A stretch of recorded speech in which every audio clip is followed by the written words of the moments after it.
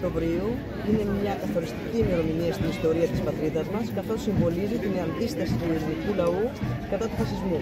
Δεν είναι απλά μια γιορτή η σημερινή μέρα, αλλά είναι μια στιγμή αναστοχασμού των, της κληρονομιάς των αξιών που καθόρισαν την εθνική μας ταυτότητα και την πορεία της χώρας μας. Σήμερα λοιπόν τιμούμε η εκπαιδευτική κοινότητα τους ήρωες του παρελθόντος με γιορτές, καταθέσεις στεφάνου στα σχολεία διάφορες εκδηλώσεις και παρελάσεις προάγοντας την αλληλεγγύη και την κοινωνική δικαιοσύνη. Χρόνια πολλά σε όλους.